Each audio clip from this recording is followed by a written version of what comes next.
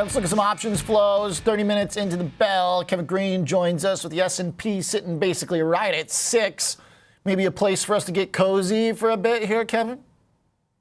Yeah, obviously we have a lot of pin risk there. We actually talked about it earlier this morning. That 6,000 level, not only when you're looking at the volume here today, but also from an open interest standpoint, a lot of uh, positioning on the call side as well as the put side. Now, what's actually very interesting today, Oliver, the top two, two traded contracts are the 6,000 puts sitting at around 79,000 contracts traded on the session, and the 6,000 calls sitting at around 75,000 contracts on the session here today. So I would say the pin risk is definitely fairly high. If you're looking at the levels going into the close here, though. I would focus more on uh, obviously the 6,000 level, but we have this range between 60 10 to the upside and 55 90 to the downside here, where we could kind of squeeze for now. Uh, and I would be very surprised if we kind of get out of that range. Doesn't seem like there's a lot of activity both to the upside or downside. I think we're really trying to at least just cross the finish line to hit 6,000, but nothing that's too aggressive uh, one way or another when it comes to trying to resolve this market. And it kind of coincides with the fact that we had that VIX up, uh, S&P 500 up, and we kind of talked about maybe we have a little bit of compression, maybe some consolidation, digest uh, these moves over the last, you know, two or three trading sessions, and it seems like that's going to play out for today. Okay. Uh, so we kind of get uh, pinned here at the even six, which seems to make sense. Um, how will you know if any of the sentiment turns? Like, where's our kind of bar for thinking about if uh, the pressure flips? For today's session or just in general? In general.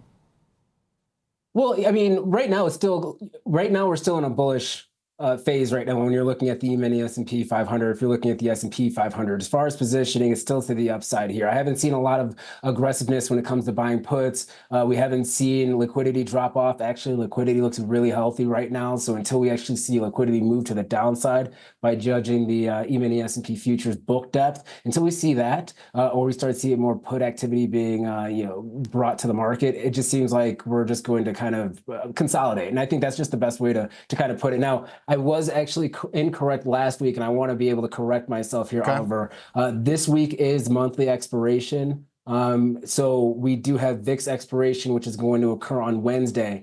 Tomorrow, I would suspect a fair amount of activity in the VIX options, both calls and puts, but most likely call side, uh, to be reflected in the market. I think that also could coincide with a small increase when it comes to volatility. We have the QYLD roll that will take place on Thursday as well. So that could be something that does kind of cause some intraday volatility when you're looking at the Nasdaq 100, uh, and then we have the expiration on this Friday, the the options expiration. So uh, we do have some things on the calendar when it comes to the options expiration, or at least options positioning this week. I wanted to just, just correct myself from from last week. Perfect. Yeah, great. Uh, good context. Let's talk some liquidity. Uh, things generally uh, pretty juicy, pretty fluid out there right now. Uh, I know you got a chart uh, for us. Comes from the CME. We like to check in on every now and then.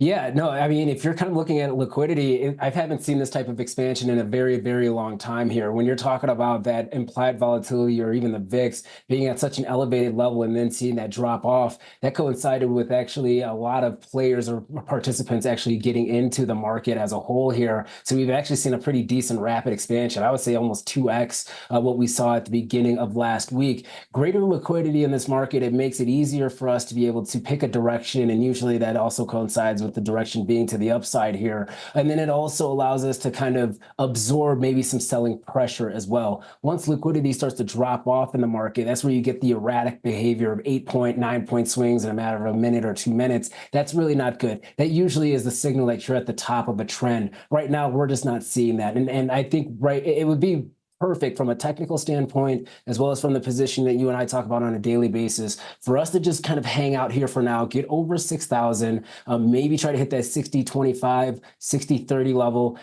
digest this a little bit more, then get another catalyst reason for us to move higher. And that could be on the NVIDIA earnings, even though it has come up a little bit short in order for us to get like a lot of momentum after NVIDIA earnings. It might be something on our radar that could be favorable for a lot of these tech names, which is obviously going to drive the market. Okay.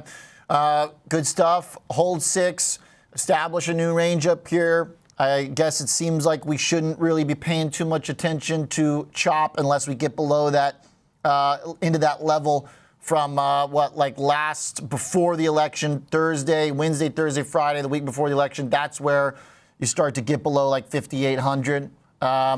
But your point is there's one more level nearer by at 58.80 that uh, we, we want to hold on the way down to. Yeah, so 5880 is going to bring that negative uh, dealer pressure. And, and just for, for us to be able to kind of talk about this really quickly here, when we're talking about those levels, we just mean that there's a significant amount of positioning there, either on the call side or put side. And we kind of look at the skew one way or another. And if it's going to be negative, usually that means in a positive gamma environment or a positive environment as a whole, that there could be potentially some support buyers stepping in. And if not, you're right. 5,800 was really kind of that key area where we uh, pretty much tested that 20 day moving average. We pulled back, pulled below there, and then we went down to 5,700. Um, I, don't, I'm not sure if we're kind of there right now. We also have to keep in mind too when you're looking at uh, that that three month chart, we're still kind of in the range of the wedge. And so we follow that wedge until that wedge officially breaks either to the upside or downside. We had a little bit of a breakage to the downside, but it kind of quickly recovered. And now we're hitting that upside resistance point, and that's also kind of recovering too, right? So I think we just continue to fo- uh, follow that trend until that breaks, All right. one yeah. way or another. I like it. It's held. It's worked. When it drifted out, it came back in pretty quick. So I'm I'm cool with it. Let's uh, let's keep rocking the wedge.